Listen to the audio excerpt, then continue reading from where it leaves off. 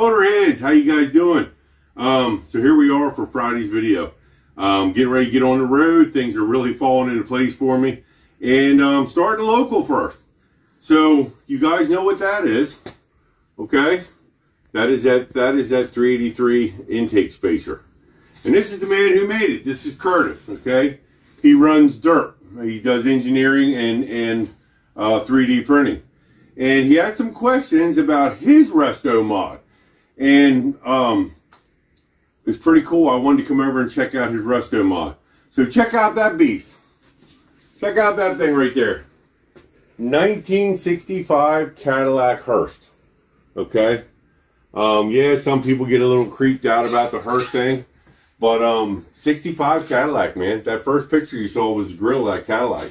Um, man, these, these old cars were they were ambulances and and hearse. Um, because I, I uh, Cheswold Fire Department had an ambulance, and there's a story with that. Actually, my mom and dad were well, they my father was being rushed to a hospital in Philly, and the ambulance had a crash.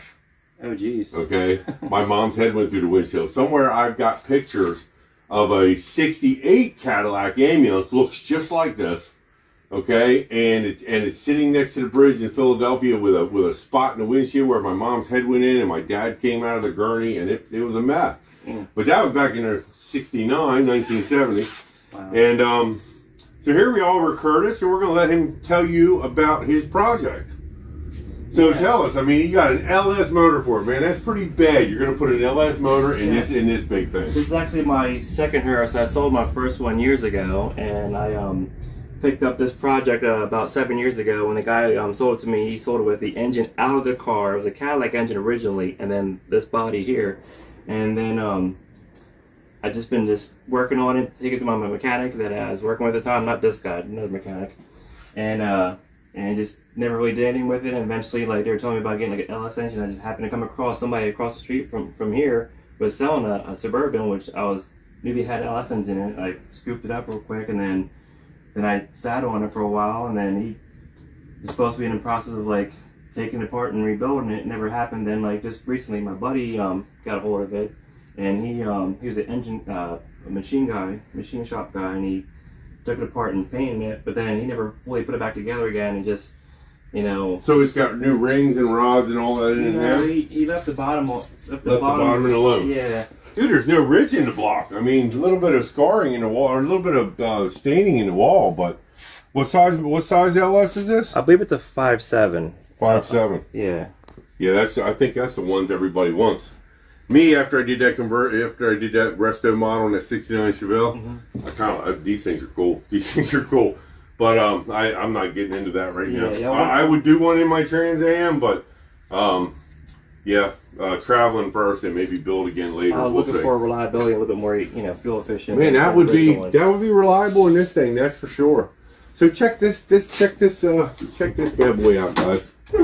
Check this bad boy out. 1965 Cadillac. Look at that dash. That's when they engineered shit. Kind of weird that it's a hearse and you know you you know it hauled dead people, but um, man, this is cool. This is really cool. Yep, I try to save as much as this as I could.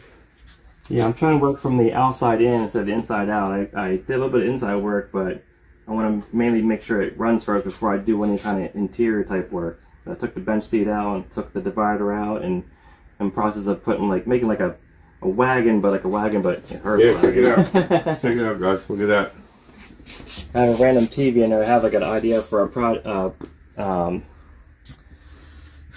it's called a Pepper's Ghost like if you're looking uh, at night in the window, you can see like inside of the room out. So I was thinking I can put the, uh, like a TV down on the bottom and then I'll have like a little like a plexiglass divider that'll kind of like motorize down and I can display certain pictures on the on the bottom. Wow, very cool.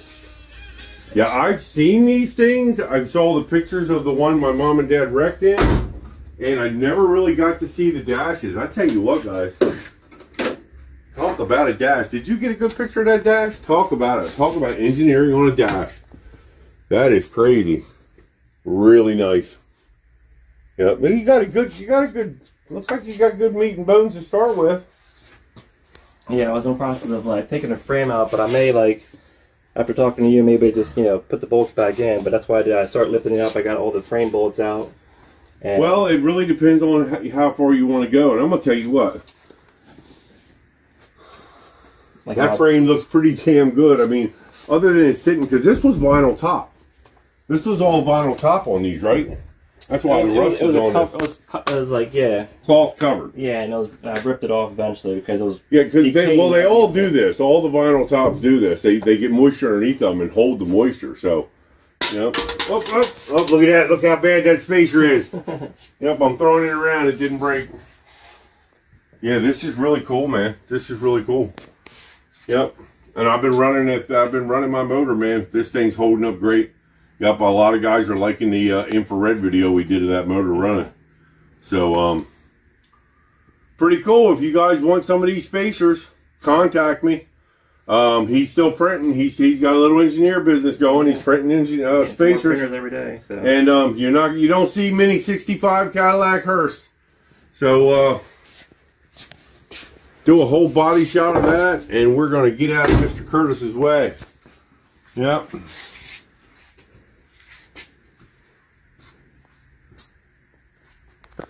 So, so why all the dots on the car?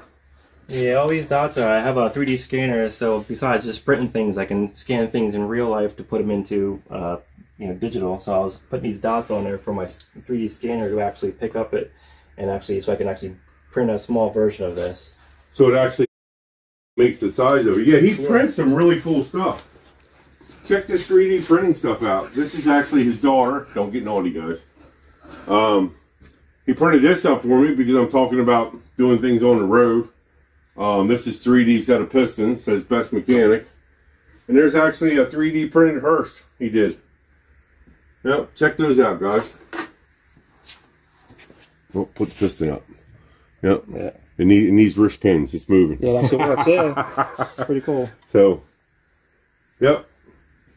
So, Mr. Curtis, you got a pretty good project. Thanks for inviting me over. Yeah, um, I'm glad I got to see it. It takes me right back to the pictures I saw in the 80s of the one my, my mom and dad wrecked in. Um, but yeah, maybe sometime when, when I get done traveling, I'll come over and help you do some stuff to it when you get a little further. Yeah. Yep. I'll be glad to. We'll work it out. Yeah. All right, Motorhead. So there's my Friday update. I got I got to get the, the camper cleaned up and, and I'm going I'm going to do some other interviews this weekend, and um, lots going on with the car lot stuff. So stay tuned. And thanks for tuning in. Oh yeah, you can really. I love it, guys. Check out what's on his own. Uh, the ball saver, we'll call it. Pretty cool. Curtis does some pretty cool 3D printing stuff. He gets real inventive.